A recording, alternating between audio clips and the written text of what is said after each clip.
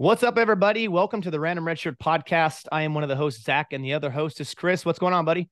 Hello, Zach. Awesome to be here, Zach. We're so I I feel very privileged. We're so thrilled. Thank you, thank you so much for being here. We it's just it it is so lovely. Thank you, Nana. Thank you. I'm very happy to be here with you too. Yeah, this is this is an absolute uh, treat. We are humble and honored to welcome the Nana Visitor to the podcast. Uh, Nana is an incredibly talented and accomplished actress. I don't need to tell you guys watching or listening to this. She's worked on Broadway, television, and film. She's appeared in shows such as Ryan's Hope, Remington Steele, The Twilight Zone, Knight Rider, MacGyver, Night Court, Matlock, Frasier, CSI, Battlestar Galactica, Torchwood Castle, and I, I could just keep going on and on.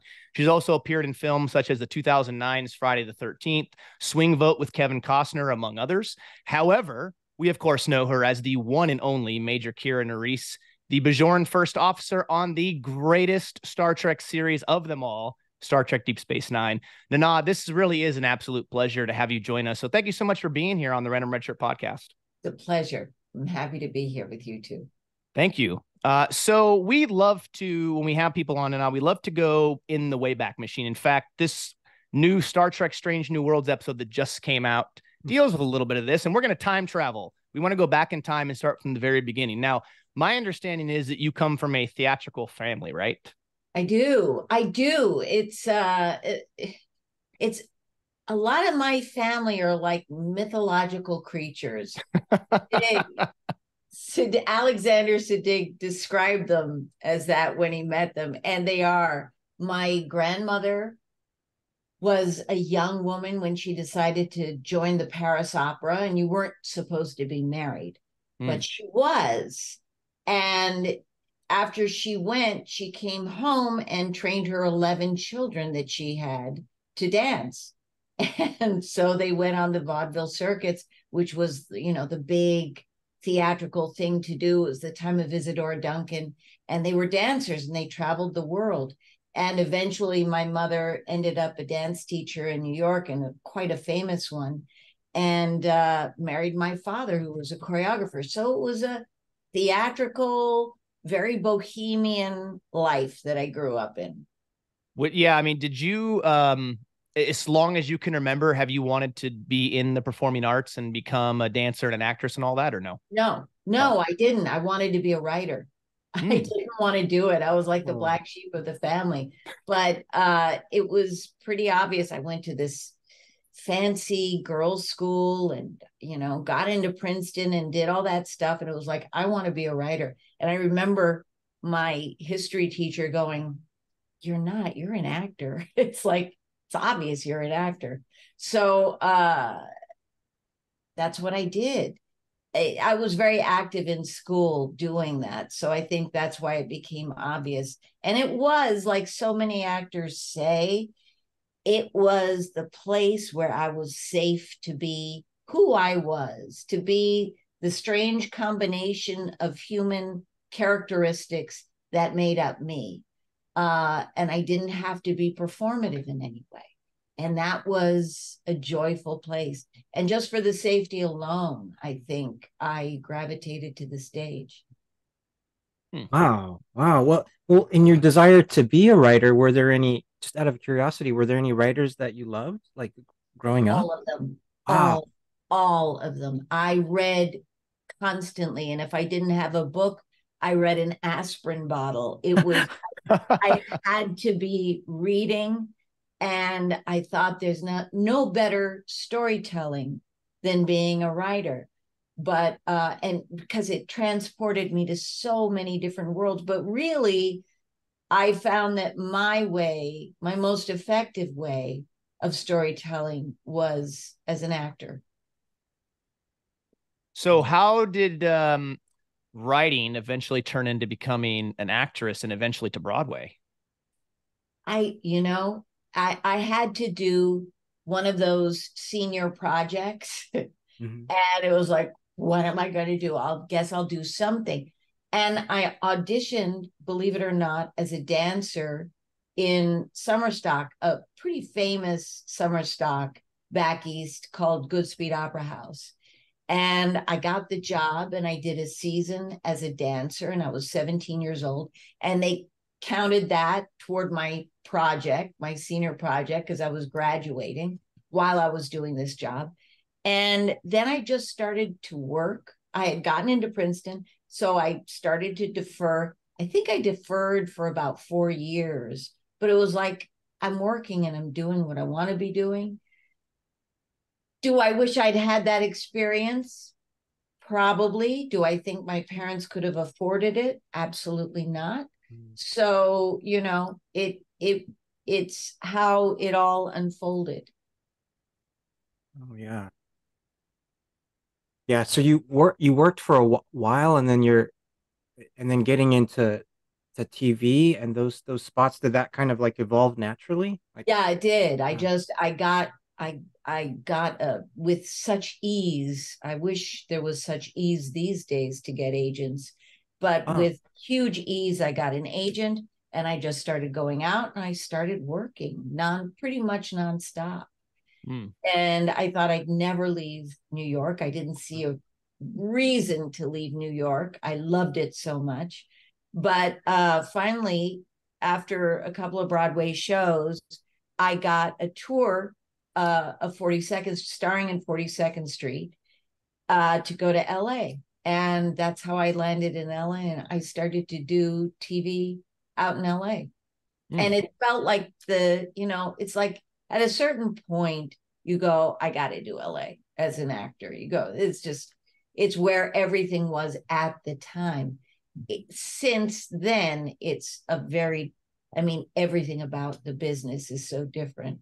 But back then, it was like you did New York and hoped you could find a home in Los Angeles and do the big prize TV. Mm. Well, you've done a lot of unbelievable TV shows and spots. I there's a definitely a couple that I think we really want to talk about.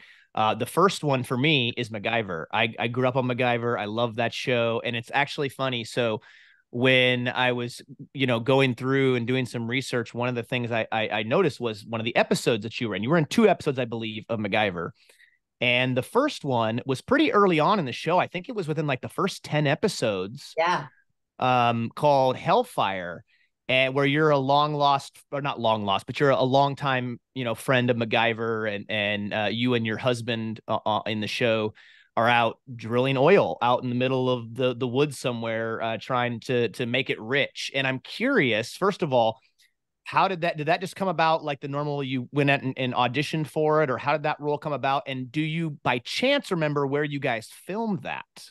I wish I did. I wish I knew when I was uh, driving out there at five in the morning, knew where it was because I remember, you know, what were those map books that we had? Oh and, yeah, Randall McNally, yeah. Yeah, we had these map. It was called something else, but we had these map books, and you'd be looking at it in the car, going, "Now where where am I supposed to go? What freeway?" and I was totally lost. And I remember stopping on the side of the road and hailing a trucker who stopped for me, going, I'm lost. I'm supposed to be here. Where is that? And he he guided me in. But it was I I was new to driving. It was past the 118, so it was way out there. And I hmm. know that there was some kind of awful lake, which was more like just, you know, swamp because I remember having to run out there. And the horrible thing was, I was wearing a Vega and I fell in the swamp and mm-hmm. ruined the Vega.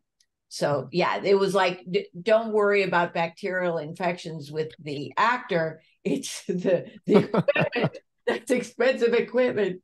But uh, Richard Dean Anderson was delightful.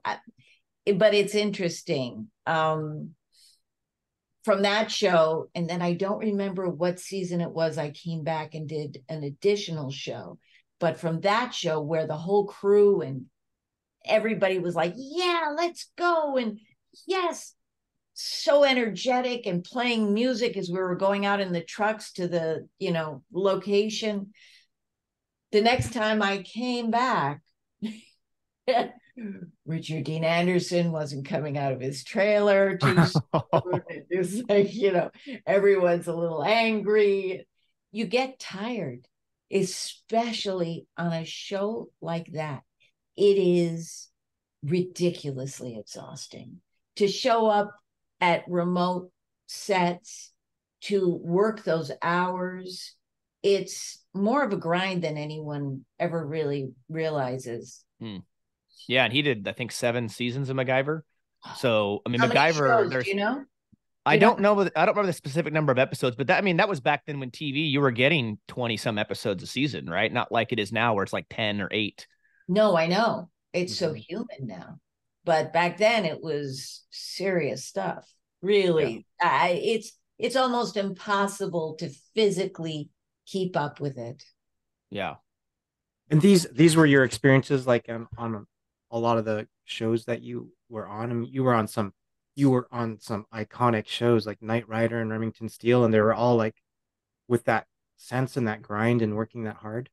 Yeah. And that's where you know where number one on the call sheet, if they've got the grit, because if they are kind to guest stars coming in, uh, even after a long run, they are they they need to be number one because that's it's not easy. It, but number one on the call sheet just doesn't mean that you're it, it's not just that you're the star it's you are setting the tone. Mm. this is your set and how are you going to run it? How are you going to be responsible for the people? How are you going to treat the crew? Because that's how everyone else will too it's really an important position yeah so obviously you were on shows like with richard dean anderson and um you know, so many iconic Kelsey Grammer. Uh, I mean, the cast of the reboot of Battlestar Galactica was just loaded with amazing talent. Um, abs- I mean, I mean, especially um, Edward James Olmos. I mean, he's something special. Uh, you were also on a show with, in my opinion, the greatest James Bond of all time, and that's Pierce Brosnan and Remington Steele. So, what was your experience like working on that show? He's a good number one. He was a wonderful number one. He oh. was so, so decent as a human being. He really took the time to be human. Yeah, mm. he was great. And that really influenced me as to, you know, I was number two on the call sheet in Deep Space 9 mm-hmm. but it influenced me how I wanted to treat guest stars and crew because I really saw you're you're pretty much at the mercy of everybody when you're a guest star or this is the way it was back then you know it's so fast it's such a grind no one's going to take time with you no one's going to give you extra shots Ooh, i didn't like what i did there tough just mm. It's it's all going to keep running and you better not mess up because you know you're hired help you're so that really showed me what a difference it can make to someone's performance and to someone's day on a set if someone takes the time to be decent. Hmm. So um yeah, it's it's something that's paid forward constantly. That's beautiful. You make them feel human. You know, so. Yeah, and you remember that it's collaborative and that you're there to act, not just get the day done you know yeah. Yeah. It, this is what we do take the time and the moment to connect to do that wow so but so before before star trek do you have any favorites of like whether whether there were television or or or broadway or these favorite special moments that you know you're very fond of broadway yeah broadway certainly going on for Twiggy in Tommy Tune's musical My One and Only on Broadway. That was magical and frightening. And I didn't know the show because she was nervous about having her understudy watch rehearsals because she wasn't a dancer. She was a top mega model. So um, she didn't want anyone watching, and I was her understudy. So I didn't get to watch. So when they put me on, I had four hours to learn multiple tap numbers and songs. I knew the songs, that was easy to pick up, but the tap numbers, no, I did not know. So it was, um, and I remember a moment of being, I took all my stuff from my chorus room dressing room and I set it up in Twiggy's uh, star dressing room. And it's the only time I talk to myself out loud. And I looked in at myself in the mirror and I said, You can run and I will forgive you. But you can also do it. And whatever happens, they're lucky because I don't know the show. So we can take the chance, but forgive yourself. Either way, forgive yourself if you run or you don't. And that was the first time I went into a flow state mm-hmm. as an actor. And I was in a flow state for that whole show. And it was like, oh, and of course, in the years following, I I chased that feeling, going, what is that? How do I get there? Until I read Mihaly Csikszentmihalyi's book and learned how to get there. Hmm. That that is that's amazing because at that time you didn't know what or you were experiencing a flow state, but you no. weren't sure like what what no, it is. I didn't no? know what that was. Mm-hmm. It was just this magical place where suddenly I could think and I'd have it seemed like 10 minutes before I had to do the next thing. I had time changed quality and I was connected to everybody and yet more connected to just myself that I was like, what is this state? Hmm. What is this place of being? And of course, you can't, you cannot chase it. yeah, clarity of thought, right? And the ability to really be in control of your your thoughts. Yeah. That that place. Yeah. So uh, you know, be, we had one of my dear, dear friends on with us recently, Natalia Nogulich, who played Admiral Nechayev. She was on a couple episodes of Deep Space Nine and gave Sisko a run for his money. Um, and one of the things she said to us was that the theater is the actor's medium, television is the writer's medium, and um, movies is the director's medium. And I'm curious, yeah, I'm curious, Nana, uh, your thoughts on that from having done all three. Like how how how really different is it from being on stage and from a live audience versus in front of a camera and doing doing television and filming? They all seem so vastly different yet similar in certain ways. I think she's absolutely right. Um, theater there's a sense that once you step on stage it's yours nobody else's and it's not going to stop unless you stop. Uh, and whatever happens it's that it's your bubble to to keep in the air. Um film i don't like because it is the director's medium. And it's and unless they're collaborative you are you might as well be a puppet. I mean because mm. they can catch you going like this. And if that's what they want that's what they use. And it's got nothing to do with this creative process. So i pretty much i there were many reasons I wasn't that interested in film. I do independent films now because there's something about that that's very compelling. But big movies, it was like I feel like a meat puppet. Mm. Um, TV, especially something like Deep Space Nine. I loved the subtle collaboration with the writers mm-hmm. where it's like a, a, a call and repeat. What do you call that? Is that what you call it?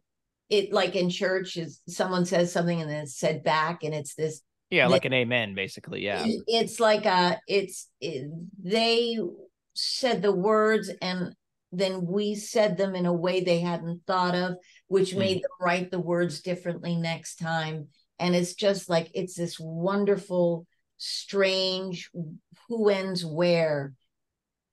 And we i never saw them but still we were in deep collaboration. So um i do like that. I also like that it's like guerrilla warfare. It's so fast. You don't have time to work on it or think about it. You have to go and you have to use your instincts and it's really challenging and scary mm. it's as challenging and scary as as as being on stage is and i love that place mm.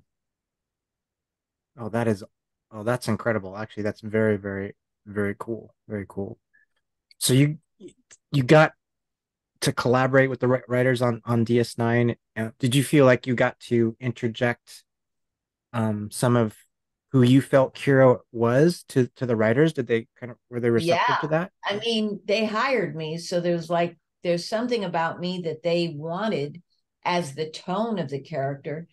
So yeah, I mean, I certainly ran with it. I took their words and interpreted it the way I wanted Kira to live and uh and it kept going that way amazingly enough and yet they were smart enough to give her this wonderful arc of growth mm. out of post-traumatic stress and into understanding politics and under and becoming more sophisticated she's no longer just a grunt but she has to learn uh to to play chess mm.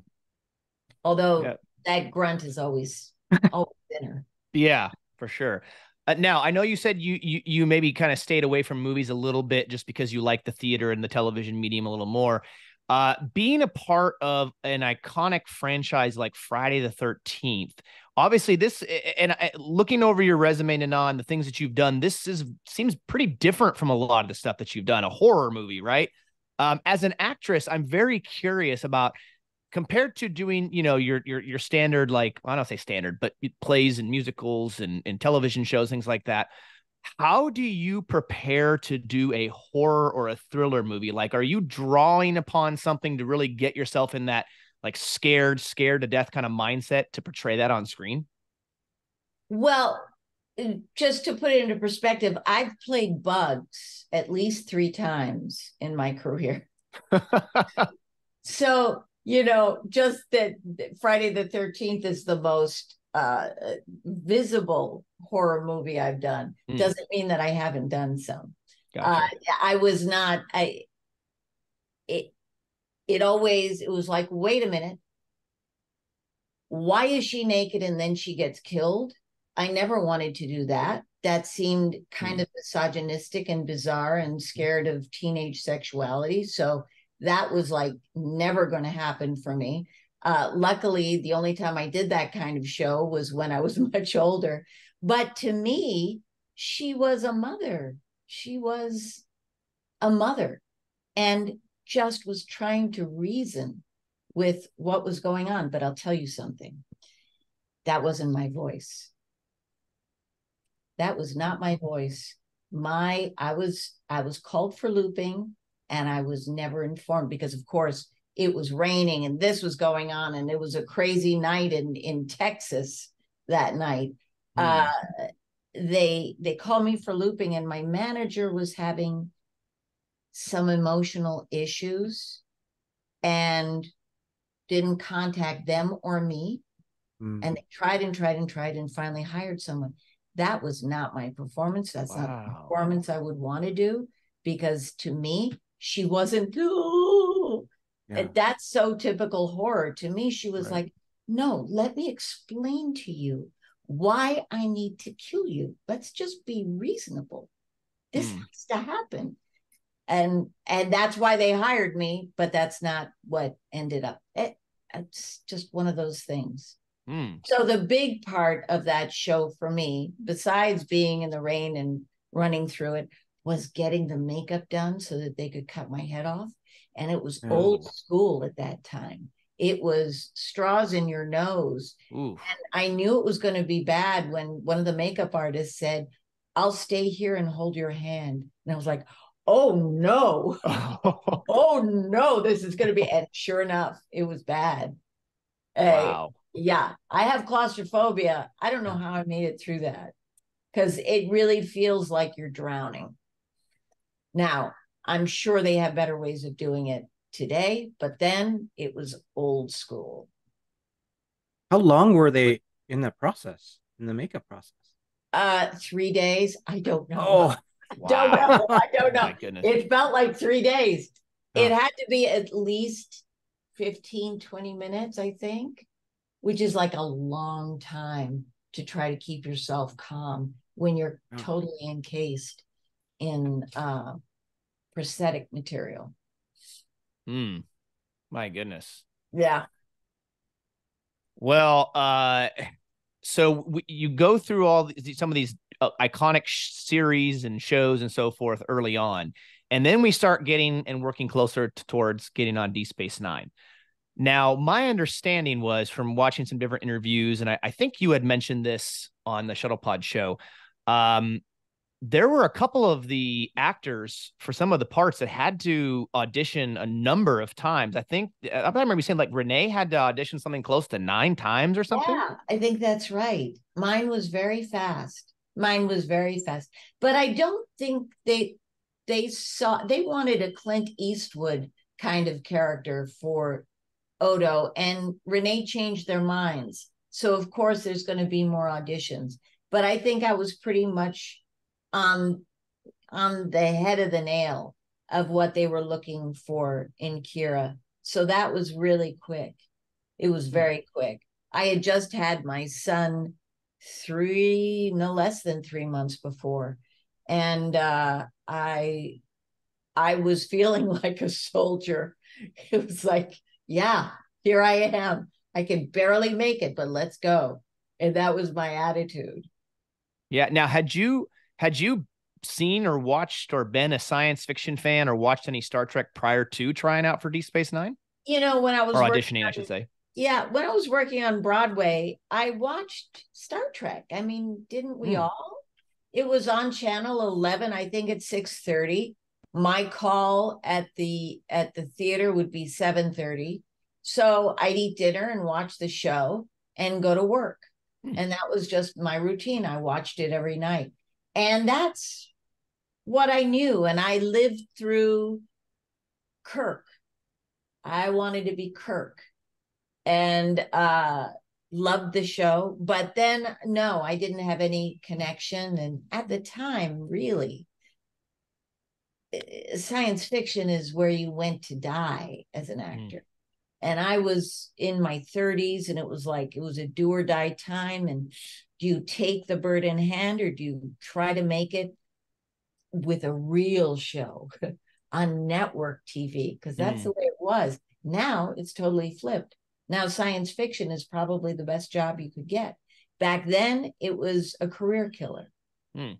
So, you know, it was this part that ah, I wanted to do more than any part I'd ever wanted to do. But at the same time, that could be the end of it for me. So it was, so I refused it the first time. I said no, because my manager said, don't do it career killer. Yes, we all know. Uh, and then Rick Berman called me and explained the sets and the writers and the care and and I I went, yep, let's do it. And did it affect my career? Probably. Um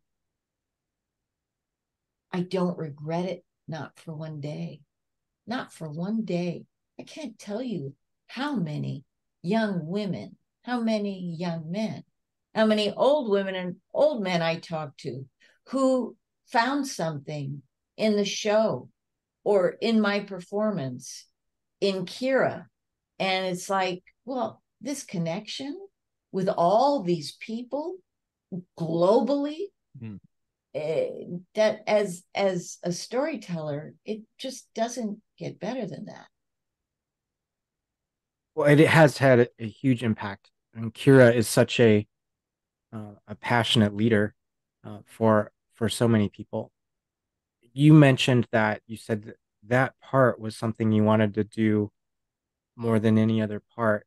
So at the what at the beginning, what drew you to that? Like what qualities of of Kira?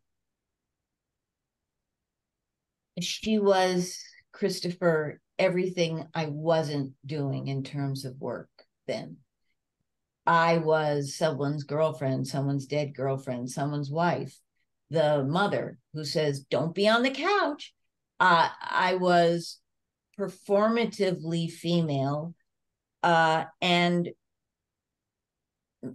couldn't hope for anything more than two dimensional Hmm. I wanted to be Kirk. I wanted to do stuff. I wanted to have agency. I wanted to get the chance to be wrong and make it right. I wanted the chance to be swashbuckling or or to be in the tense moments with an enemy. I didn't get the chance to do that as a woman in the 90s. The only place you could do that was science fiction and being an alien. Being an alien meant I didn't have to play by any rules. I was no longer herded into this reasonable, okay space for a woman to be in. And that was being who I am naturally. That was like freedom. Freedom. And at the time, people were like, oh, she's what? What are you doing?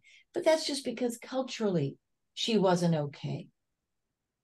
I truly was that. I wasn't pushing acting like a man. It's who I am. But that spectrum of allowing wasn't open to us then. I think I remember you saying either at a convention one year or on an interview that when you first read Major Kira and read the character, you thought it was written for a man, right? Yeah, I did. Yeah. I absolutely did. I can I can see the the words Major Kira going. I see how this happened. It's ending in an A, so they thought it was a woman, but this is obviously a man's role. She's this this character is coming up against the commander and talking freely and doesn't care if she's likable. This this is not for me this this is wrong and they went no they they want a woman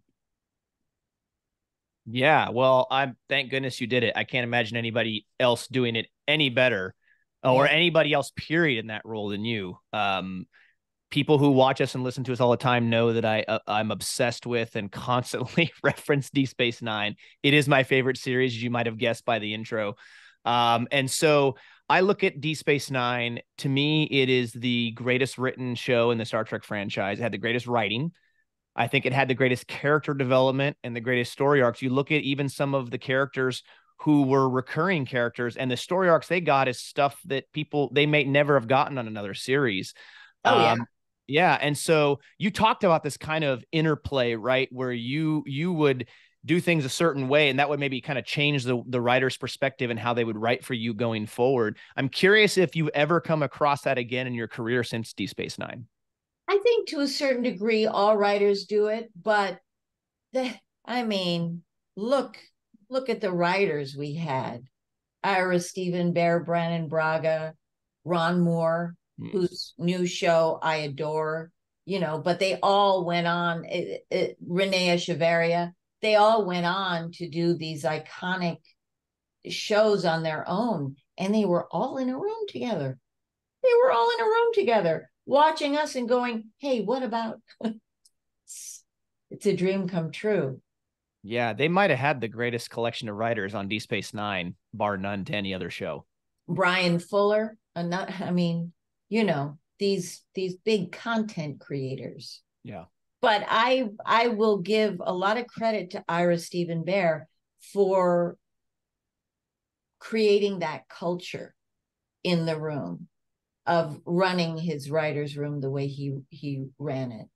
And there were more writers I'm not naming right now, and I can't think of, and they were unbelievable. The writer who did duet, mm. uh, you know, there there are just so many.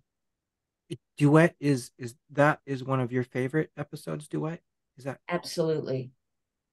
Absolutely. Uh, and i thought it was going to be a mess. I thought oh my god we're not going to be able to cut this together. It's just a mess. And i couldn't find harris you know because coming on as a guest star please please first of all at that time you didn't have monologues like this long that you had to memorize over, you know, seven days. Mm-hmm. You didn't have massive makeup that you mm-hmm. had to get used to and go, how do I find myself in all of this? It takes a moment. It, it a lot of the guest stars I think that's why they had to be of such a high caliber because not everyone can do it. Not everyone can hit that tone that you have to hit. And he was, I, I think he had difficulty with the makeup and the massive amount of words he said. So there were a lot of takes, and I thought, oh, this is going to be a mess. But when they cut it together, it's one of the best performances. It makes me cry every time I watch it. Mm. He's he's heartbreaking. He's heartbreaking. Yeah. Things have definitely changed over the years since DS9 first aired. And in particular, nowadays, we have the advent i think i'm using that word correctly chris the advent of streaming services uh, which have created a binge culture right we can binge watch yes. shows and i truly believe that there has been a surge in ds9 fans due to this because they got to watch the show the way i think it's truly meant to be which is from beginning to end versus just plopping in and watching you know new planet of the week or something yeah. like that as a as a uh, you know a main character on that series have you noticed any change in the number of DS9 fans? Zach, it's so funny. At, at just I don't know how far into the into the pandemic we were, but at one point on Twitter, someone said DS9 is trending. Why? it's like because it was unexpected. Eh, we were the black sheep of the family. It's mm. like, but then people started to actually watch it, and yeah. Uh, we would have existed in this streaming society because I think we would have done better um, because we weren't for everyone back then. But mm-hmm. now they can do Star Treks where they're targeting certain audiences. And DS9, although I think DS9 is pretty pretty mainstream at this point. Mm. There's there's nothing that upsets people too much. But at the time, of course, we were ruining Star Trek. Oh, yeah, that was, you know, it's funny. I mean, I grew up on mostly on TNG as a kid, and it wasn't until, you know, many moons ago when I was in college that I got into DS9 and I had I had to lug around the seven seasons of DVDs to watch oh it. Oh my god.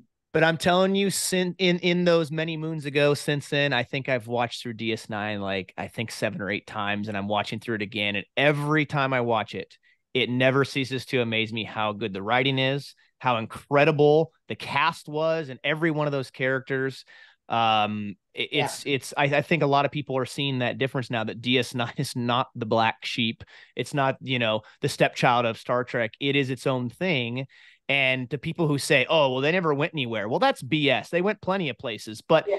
the fact that they didn't have to worry about a new planet of the week every every week for an episode, they got a chance to do that character development, that focus. And there were a lot of incredible episodes focused on your character, Major Kira. And besides Duet, are there certain things that they focused on in your character that really stood out to you that you liked a lot? Well, I think everything that they looked at from my past and that gave them, you know, that was like riches for the writers to think that I had been a terrorist and you know that i had this traumatic past and also close friendships from you know from those days i think that was great fodder for stories. Um and i loved it. I also loved the silly ones that were just you know what was it? Um was it dr bashir i presume? Or oh yeah. something like that that was the bond takeoff? Yes. Oh, enjoyable to do. I mean, it just doesn't get better to be allowed to do a bad Russian accent and you know, appear on a round bed. It's just like it's so silly. It was so fun. Well, All I was gonna we're fun. Yeah, I was gonna say you did you did uh several, I want to say iterations of Kira, right? You had that iteration on the holodeck, which wasn't Kira, but you know what I mean. You also got to play the intendant, like an evil version of Kira in the Mirror Universe, yeah. I thought was awesome. You played a young terrorist Kira. Uh, you know, you played Colonel Kira. I mean, there were so many iterations, and I would imagine as an actress that would have been kind of freeing to be able to kind of expand your your skills, right? It's just like Disneyland. It's like you get to do everything. It's like being in a theater company mm. with theater company quality actors. I mean, René, Avery, Andy, it, it was just it, uh, everybody was was incredible, really incredible yeah. at what they did. So so amazing, and we did them so fast. You know, when I when I look back at it, not in terms of hours, but in terms of work produced and just ground out. I don't know how we did it. I don't know how we did it. Wow. Well, you were that talented. That's why. Yeah. I mean, you, you had well, to. It was fun. It was fun, you know. Uh, being on set and doing scenes with René Auberjonois isn't half bad. Yeah. Yeah, absolutely. So, did, you guys were in the flow state, right there. yeah. yeah. Was there a strong sense of like community and family working with everybody? It's it's interesting. I mean, we said it on set that we spent more time with each other than we did our own families. Mm. And yet it's not a family, it's a work family and it's very specific and different. We didn't really it was like probably more like being soldiers together without mm. having to worry about, you know, being shot at, but it, it's that we're in this difficult situation together and we're you know we're going to make it as good as we can. But really where we got to know each other was after the show was going to conventions in Europe or Australia and hanging out and going where are you going to dinner? Let's go. And it's just like it's like having cousins that you lived with for a while and you meet up with once you know it's just you share so much so that dinner is so important or the jokes are so deep. Yeah. Now on ds9 i think one of the one of the greatest villains in all of star trek was on there and that's Gul and Marc Alaimo who was unbelievable on that. You you two had a a very distinct chemistry on that series. Not obviously in the chemistry of a romantical because that your characters were not that way, but a very unique chemistry in the way that you guys played off each other. And I'm just curious on your thoughts on, you know, how that went on as as time went on, as as your characters became more and more and more intertwined as that series evolved. Yeah, I I think that the evolution for me was at first I saw him as, you know, it was almost as if he were an adult and I was a child. He mm. had authority and I couldn't get over that. And I wanted to attack him to the point where Kira grows and now they're equals and she grows some more and now he's kind of erased for her. Uh, so he he changed size because she did hmm. in her mind. That's how I saw it. But at first, he was terrified. Yeah. Yeah. That's that's good. And you the character of Kira is a mentor, I believe, right, to Gul Dukat's daughter as, yeah, as well. Yeah. Mm-hmm. Yeah. So that really changed the relationship. We couldn't hold on to Ziyal's uh the no. I know and that was it so it, nothing could really build and then after a while i think it was like oh well you know this isn't mm. going to work.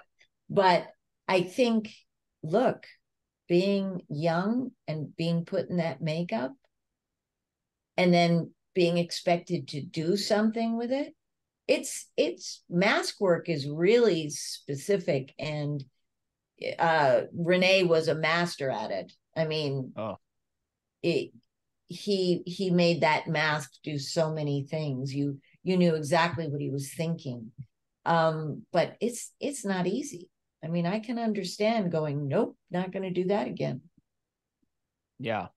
Many years later, you uh, were a part of the DS9 documentary, What We Leave Behind, which was absolutely wonderful. Um, seeing all of you back again and, and talking about your characters. I thought it was, uh, you know, really amazing revisiting the series and, and talking about that. Did any any specific memories that you can think of bubble up as you're going through it and and you know adding an interview into that and and talking about your time on the show? Yeah, uh, you mean when I think of what we left behind? Yes. Yeah. When you were when you were when you were shooting the documentary, was there something anything specific that like, oh yeah, I totally forgot about that, you know? And I I just uh no, not really. Uh, because don't forget, we talk about the show all the time. that's true. we think about it all the time. Um, so I don't think it was that. I think it was this huge excuse to hang. And for me, it was talking more to Ira than I ever had. And that's kept up now. Now we've seen each other as friends. Before it was like boss. And I was like, mm, no, that's my boss. But now we're friends and uh, we get together that way. And hanging on that level with him was joyful. I talked him into going, I'm sure several people talked him in, but I did my hard work to talk him into coming on the ship, on the cruise ship, Star Trek cruise ship last year.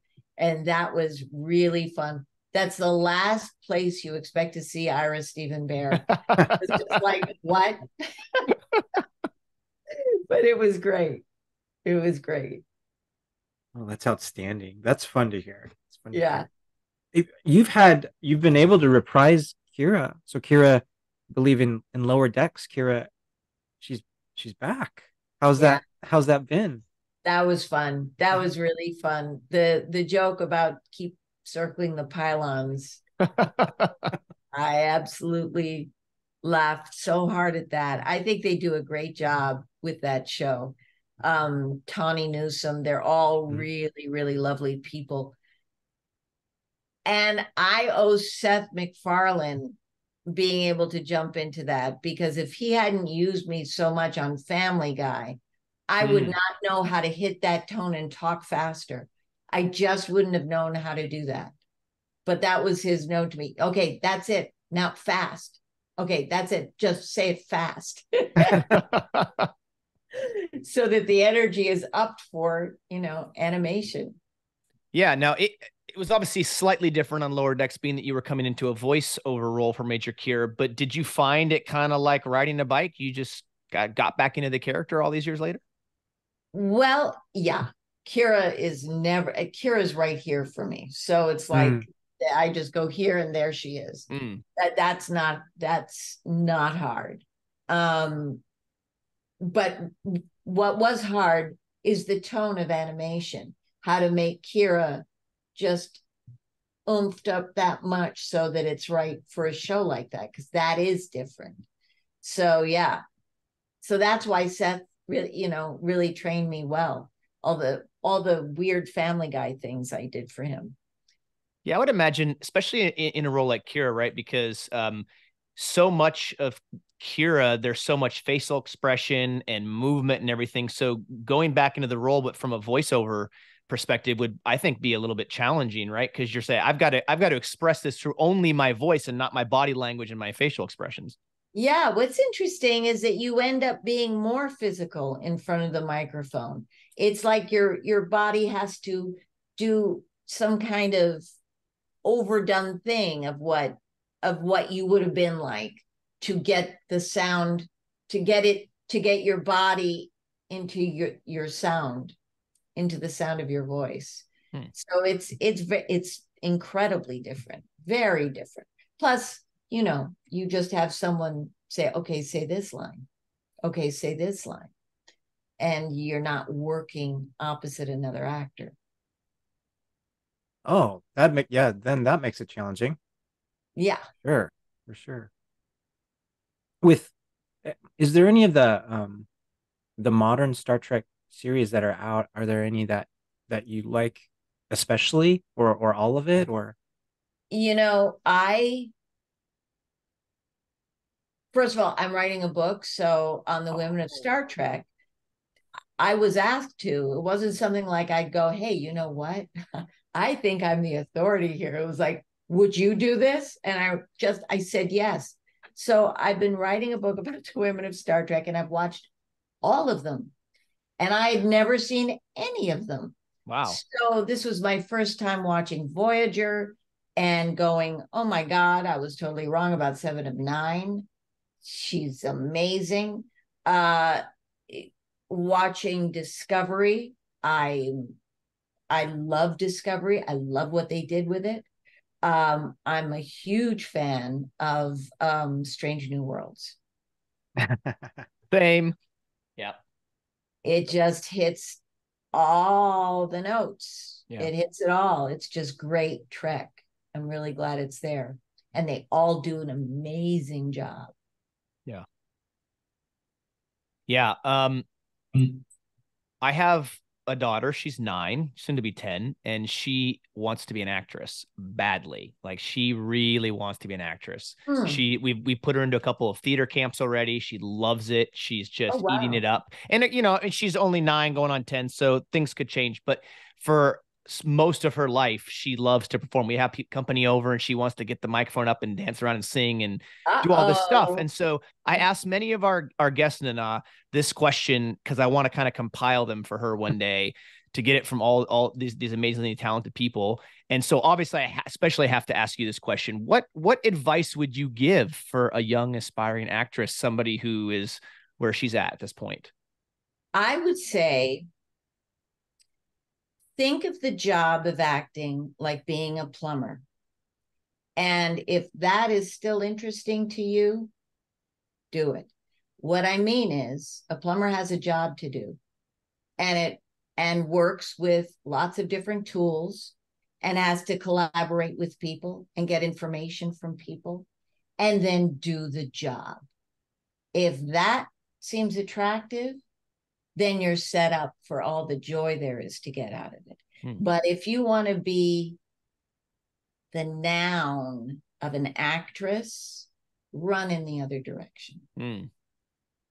Be the verb, not the noun. Be an actor. Very good advice. That will Zach is Zach is thinking of how to explain How it. to translate that out to a 10 year old. You could you I could see my brain working on screen there, Chris. I was like, wait, how do I do? That's But cool. do you but do you understand what I mean? yes. that? Yeah. Yeah. because I- that's really what it is. You carry your tools with you and you go from job to job. And it isn't glamorous. Yeah. It is not glamorous and it's hard work. So if you can think, once I open my tool chest, what I take out is my acting skills, and that's exciting. Great. Yeah. Now, uh, you are scheduled. I think are you coming to the convention this year in Vegas, right? Yes, I am. Okay. Yeah. So if you're watching or listening, and you're coming to Vegas this year, please pay Nana a visit. Hmm. Get a, get get a photo with her, like I got ma- Oh my many many moons ago. Many Uh, moons ago, Yeah. many different hair colors ago. I would, yeah, I was gonna say that. That leads me to another question here in a moment. But yeah, get, get a photo with her, say hi to her, get an autograph because you definitely won't regret it. Um, that leads me to a question I did have. Uh, I, I think you had mentioned it was during the pandemic that you started your Mama Nana videos, yeah. And I'm curious as to what was kind of the the driving force behind that. Like, what what made you decide to start making these little? They're they're fantastic, by the way. They're just like what three to five minutes or so. I think the average. I try to keep it to three, but sometimes it doesn't work because I know it's like, oh, no one's going to want to listen to this. But I, I, during the pandemic, look, I've had a lot of uh, issues with with anxiety and uh, post traumatic stress, and I've done a lot of work to figure out how to manage that.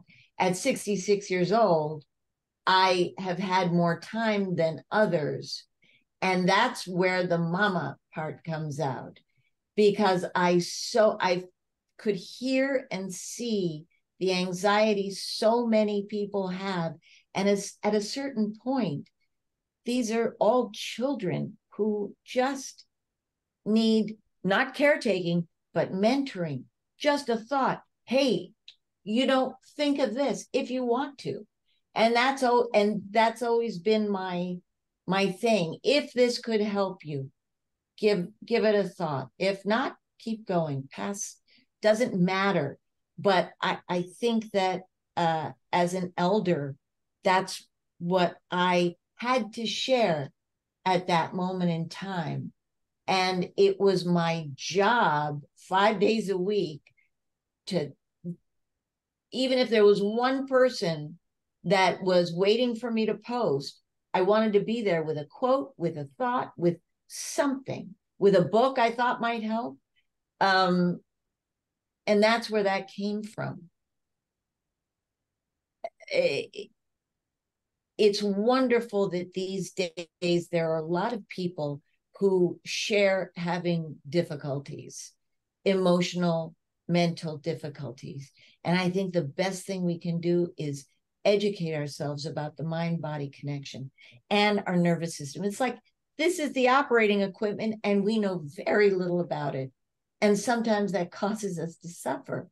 So, just with a little information, you can get on top of these things sometimes. So that was that was behind my thought.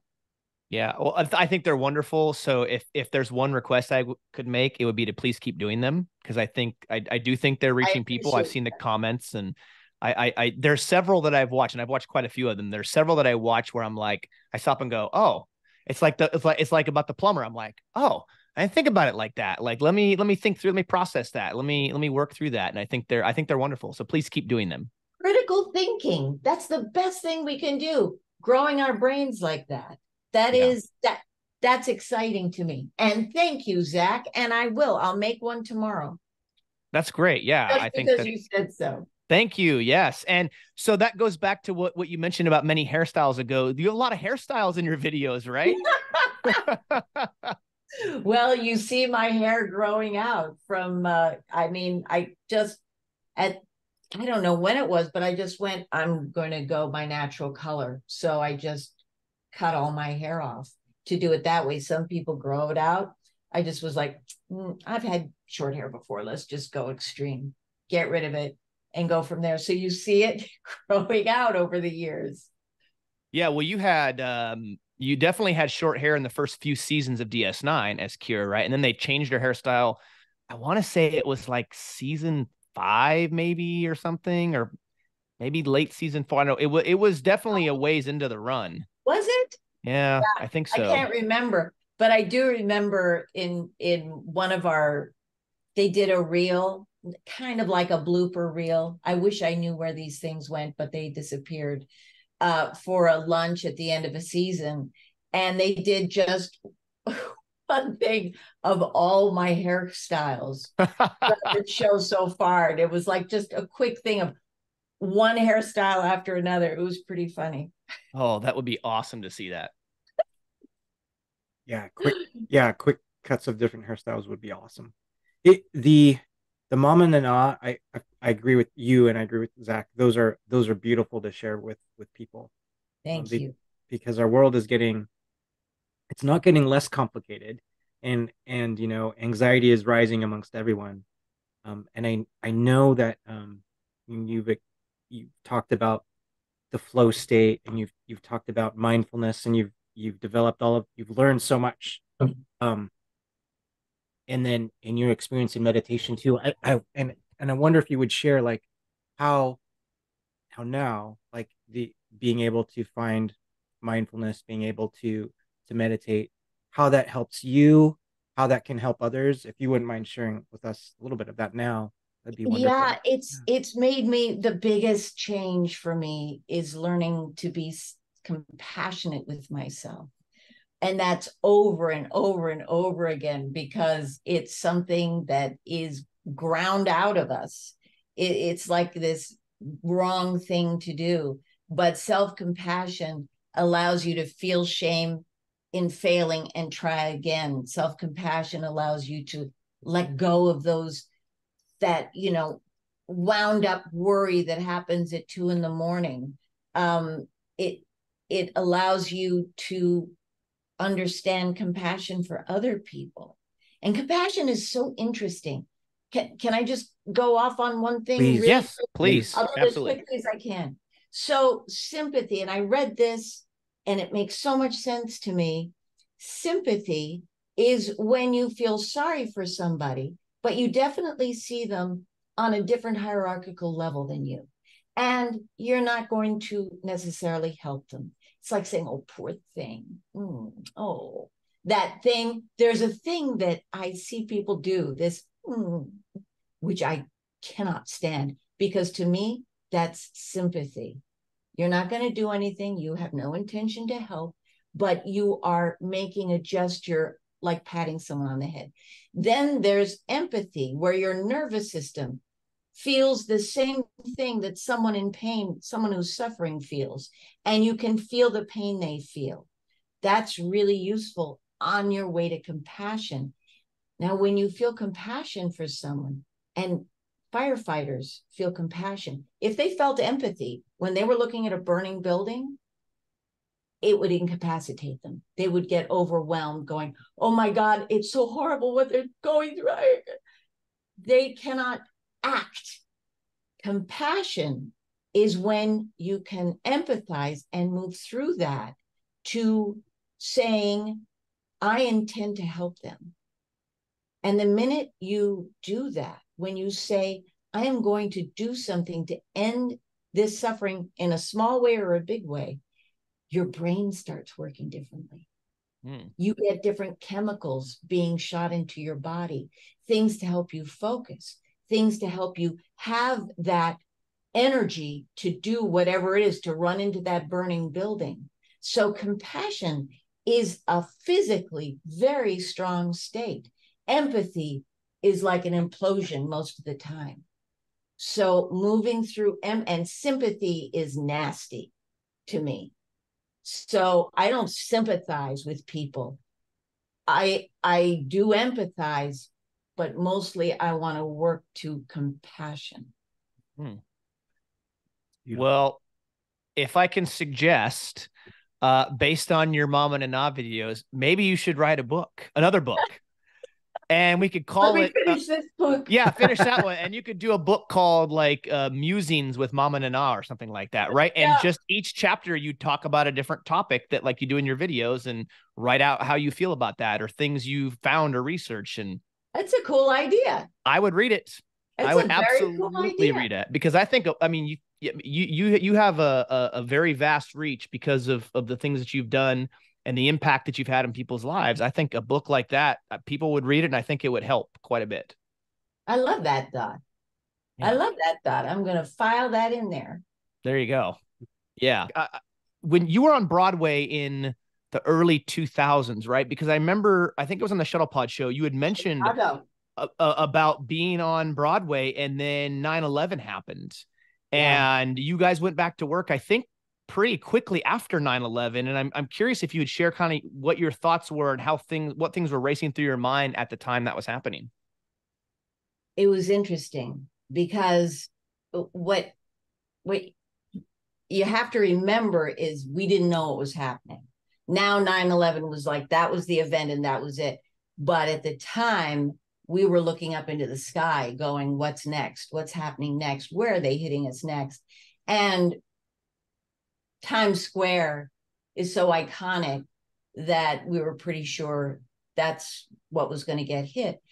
And that's what, because I used to call myself a performer, and a performer has a certain kind of quality to it um, that is, well, it's performative. It's like, you know, I'll sing and dance.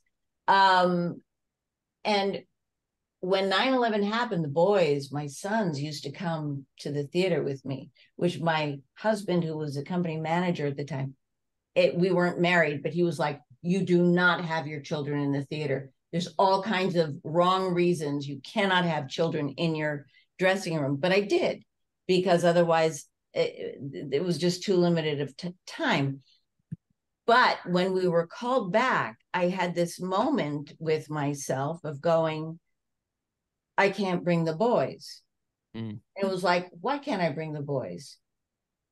Because we might get hit and they might die. So why are you going to the theater? and I went because that's what we do. We get on stage and we make people feel that everyone's standing back up and we're going to be okay. And that's important for New York And that's important for the United States. We're going back to work. And realizing that made me go, oh, I'm I'm a storyteller. I'm someone who helps people stand back up when they need to. And uh it was it was a it was I mean, you know, we're it, we're a fun musical about murder and mayhem, you know, and they had it coming, all these songs about death and haha. And there were, you know, there were people who there were firefighters and soldiers who came from all over the country to help and they were sent to the theater for the night to try to take their minds off of what they had been doing all day and there would be maybe 200 people in a theater that held so many more and they would just be looking at us with blank eyes and they'd come backstage with blank eyes blank just blank and it was heartbreaking and hard. It was a hard time. And it was scary because I did think we were going to get hit. Mm. But it defined my job in a way different way than I had ever thought of it before. Yeah. Yeah, thank you for sharing that. That, that is so much resilience and like an understanding of what you can contribute to the to the audience and, and the people and making them feel i think that's what yeah, compassion yeah, does yeah. it makes you travel past yourself and travel past what you're worried about about your survival and going no this is what we do for each other yeah you're truly serving them yeah yes yeah uh, there is an episode of D Space Nine that I think is maybe one of the greatest written shows in television history, not just Deep Space Nine or Star Trek, and that's far beyond the stars. I knew you, were going to say that. that. Yeah, yes, you knew it. You're right. You're it's, right. Could yeah. that not have been a movie? Oh my gosh! I mean, I, I I still to this day feel like Deep Space Nine should have gotten a movie, at least one, right yeah. after it was over. I mean, I mean, Kira becomes the commander of the station when Sisko goes off with the wormhole aliens or the prophets. Um and but that that episode was so impactful. It's so moving. Um I, I i must confess when i was younger there are certain episodes i would skip over because they were too slow for me. But as i'm older and i have a family these things hit harder. And i'm curious in that episode because again it's another another version of kira kind of that you're getting to play in this in this era there was a story uh i think that was told i want to say it was on the maybe the documentary or something i heard where um, Avery got so deep into that character, and I think he directed the episode too, I believe. Um, that he he he spent you know 40 minutes or 20 minutes when I was on the floor crying after they said cut. And I'm curious on the maybe the impact that that episode had on you and maybe the cast as a whole moving forward. It well, we were living with Mr. Brooks and Mr. Brooks is nothing if he's not a teacher and a mm. mentor. And it was like having a history lesson, uh, a sensitivity lesson, you know, why diversity is important lesson mm. every all the time. I mean that that was the work that he was driven to do is to share what he shared with many people with that episode. But um yeah, it was it wasn't like oh my god. It was like yes, this is this is the horror and pain. And and um yeah, made a made a big difference in my life working with Avery for 7 years. I learned so much we would talk about something on set, there would be a book two days later in my trailer, the book that we were talking about. Mm. And I'd read it and then we'd have discussions about it. He can't help but be a professor. It's what, you know, it's just in him. He's a teacher, he's a mentor. And he taught me so much. Yeah. He he he became a college professor after DS9, I believe, right? I think he was I teaching think he music was or that something. before. Oh, No, was he? Yeah. acting. He was working Acting. Rutgers teaching acting. Yeah. Mm. That's wow. That's Inter- why everyone calls me Nana because no one, I was 35 years old. No one ever asked me how I liked my name said. They said it however they wanted to. But Avery said, How, when he met me, how do you like your name pronounced? It's like, What? And I thought, Well, I like it the way my mother said it, and she was French. And it really, within two weeks, and I never said a word, everyone was calling me Nana because of Avery, because that's the way he was with everybody, everybody on set. He knew everyone's name. Crew, if you just came in once, he knew who you were. He was like that with fans too at conventions. I met him several times many years ago, and his line would always take the longest because he because you go up to him and he would look at you in the eyes. He would shake your hand, ask you ask who your your what your name was, where you're from. He'd have a conversation with you, and be, before you know, it's ten minutes, and then he's finally signing, you know, the autograph and it or or whatever, you know. And it's just that kind of care. Like it, I went to the fans as well, which I think was was fantastic. Yeah, he's he's that way with everybody. But that's such an important moment.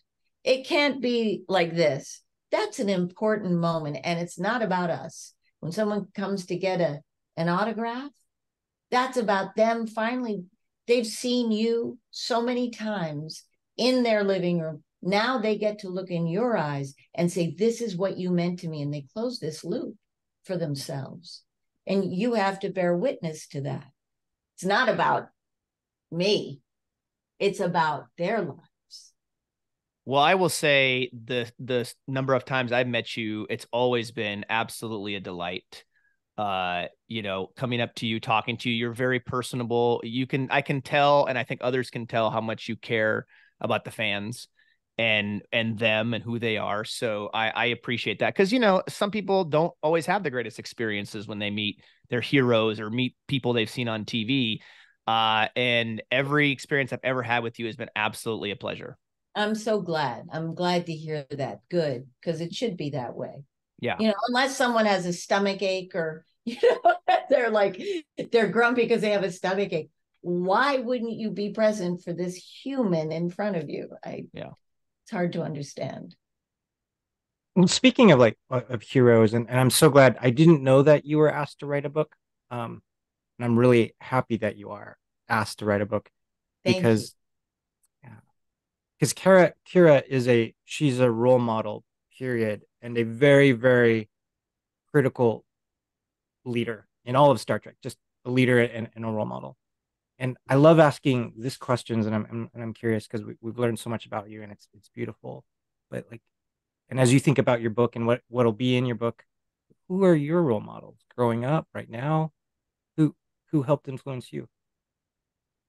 Uh, well, my mother was a huge role model. She was a different thinker and a different kind of woman.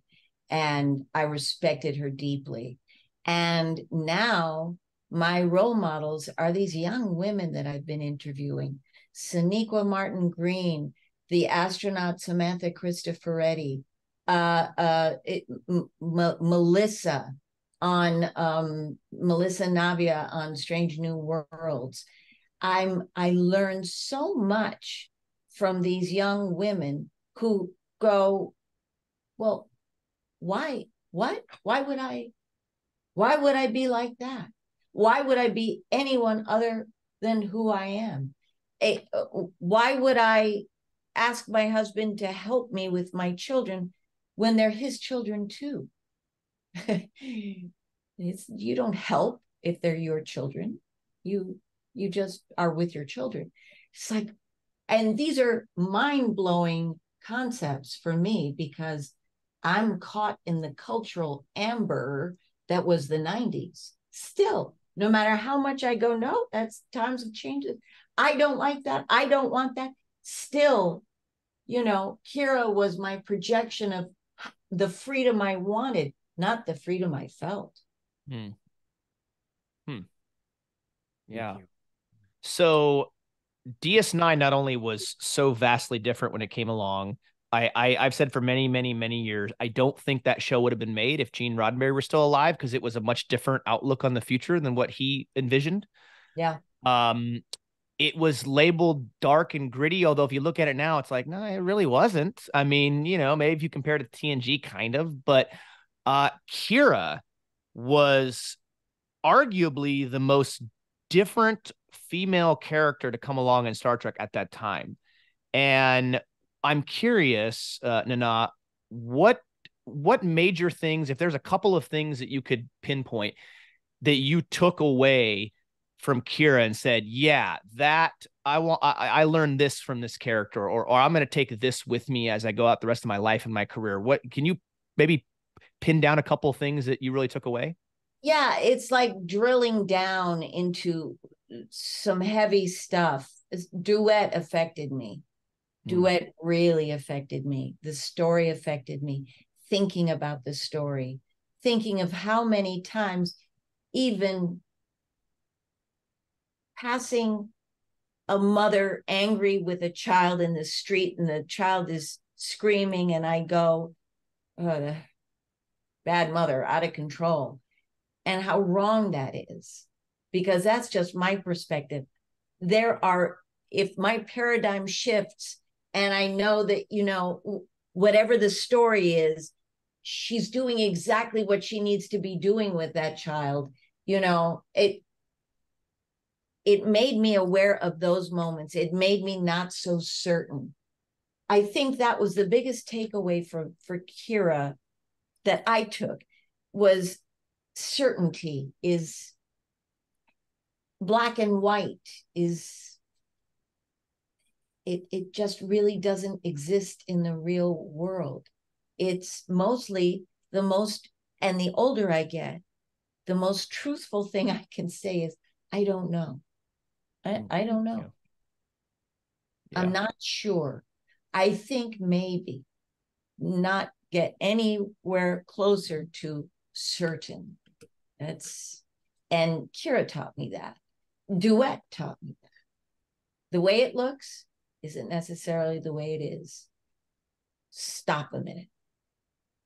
Yeah, and I think you saw that throughout the this the show as she she's very very very set on a certain way of doing things, and certain principles and the way she sees the world and as the series goes on some of that changes and and she she grows and i mean obviously it's a testament to those writers and to you as an actress portraying that character but you see that growth over seven seasons and i i, I feel like where they left her at the end of ds9 i felt was in a really good place. Yeah i agree.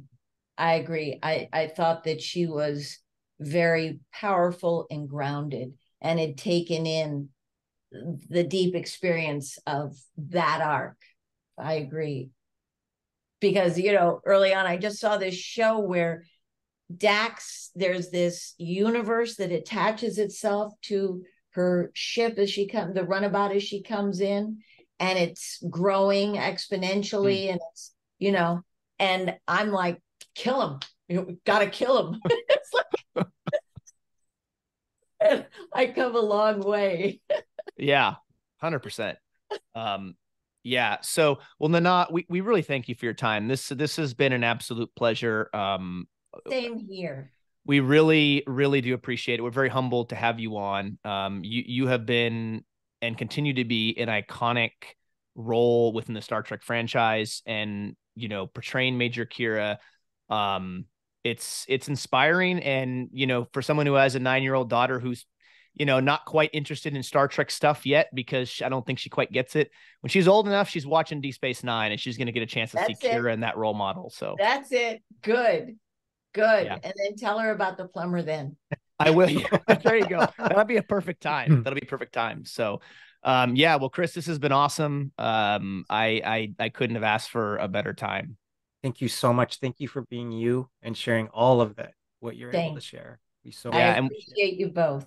Thank you, Nana. And we we look forward to more Mama Nana videos. We look forward to your book coming out in the I'm near gonna future. do one tomorrow. I'm gonna do one tomorrow. Yeah, and then uh who knows, maybe more books down the road. That would be awesome Sounds too. good. So, all right. Well, thank you everybody so much for watching and listening all over the the, the globe and the interwebs, Chris. We really do appreciate it. And uh, if you've not checked us out before, check us out on Facebook and Instagram. And we'll catch you next time right here on the Random Redshirt Podcast.